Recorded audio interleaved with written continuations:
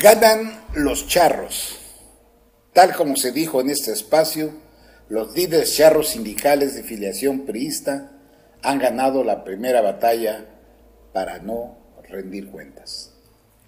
El proyecto de dictamen presentado por el presidente de la Comisión de Trabajo, Carlos Aceves, un destacado setemista, fueron eliminados los artículos que planteaba la iniciativa del presidente Felipe Calderón para obligar a los gremios a transparentar sus registros, estatutos, cuotas sindicales y otros bienes.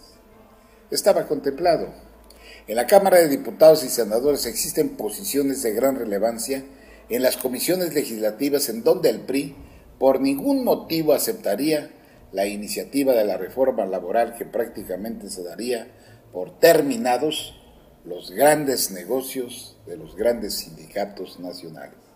Pero no solo eso, definitivamente la democratización al interior de los sindicatos solo es un sueño guajiro para los trabajadores, por el contrario las dirigencias sindicales se pronuncian por la reelección de sus líderes.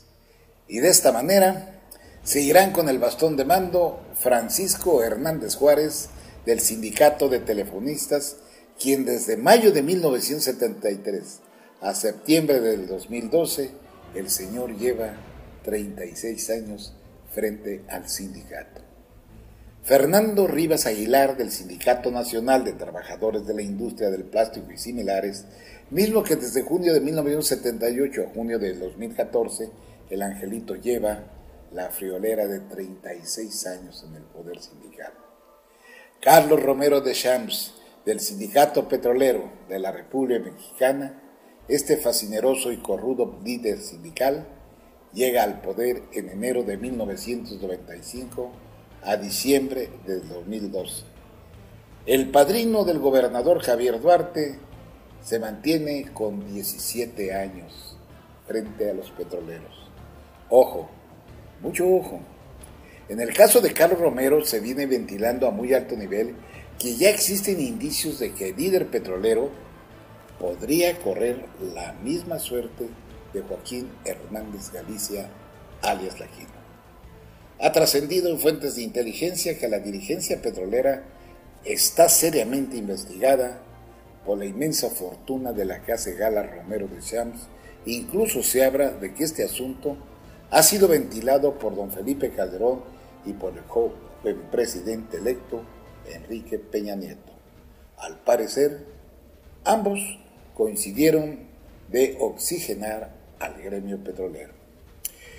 De igual manera, Agustín Rodríguez Fuentes del Sindicato de Trabajadores de la UNAM, quien no se queda atrás, este señor llega a la dirigencia pumista en mayo de 1994 a diciembre del 2012 don Agustín cumple 20 años de liderar a sus compañeros.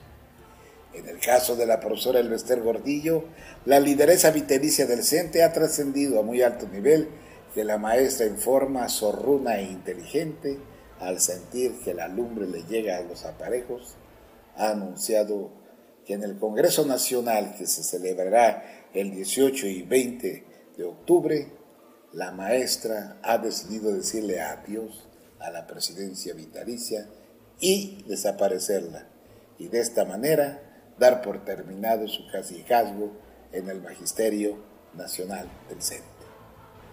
Estos son tan solo uno de los cuantos de los 20 líderes que se han asegurado sus cargos a lo largo de este país.